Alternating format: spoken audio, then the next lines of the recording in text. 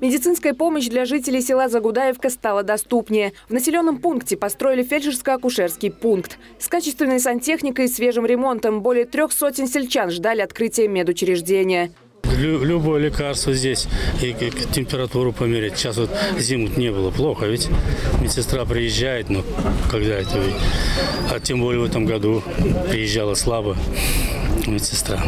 На данный момент ФАП заряжен оборудованием и готов к приему пациентов. ФАП оборудован э, всем необходимым оборудованием, начиная от э, э, гематологических анализаторов и заканчивая дефибрилляторами и реанимационной аппаратурой.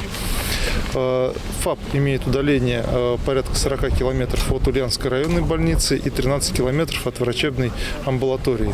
Илона Суховей всегда хотела лечить людей. Она выучилась на фельдшера и отправилась за Гудаевку работать в ФАПе. Девушка приехала по программе «Земская медицинская сестра».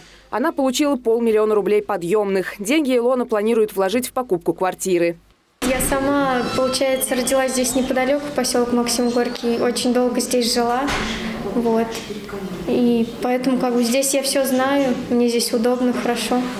На церемонию открытия ФАПа приехал губернатор Ульяновской области. Глава региона провел прямую линию с федералами по видеосвязи. Алексей Русских рассказал зампреду правительства Татьяне Голиковой о том, как развивается региональная медицина.